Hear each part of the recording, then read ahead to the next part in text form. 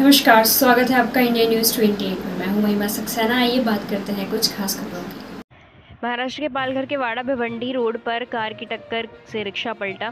भिवंडी से बाड़ा की तरफ़ जाने वाली रिक्शा को कार वाले ने मारी टक्कर। लगातार हो रहे बदहाल रास्ते की हालत से गाड़ी चलाना बहुत ही मुश्किल हो रहा है और इसी वजह से कार वाले ने ऑटो रिक्शा के बीच हुआ बड़ा हादसा।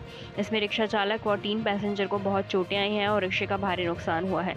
कार वाला टक्कर मारकर भाग खड़ा हुआ। छोटे लोगों को तुरंत सरकारी अस्पताल में पहुँचाया गया। पुलिस टक्कर मारने वाली कार की तलाश कर रही है, परंतु ये हादसा खराब सड़क के कारण हफ़्ते में दो तीन हादसे हो रहे हैं। इसके लिए संबंधित ठेकेदारों, पीडब्ल्यूडी प्रशासन जिम्मेदार दिखाई दे रहा है।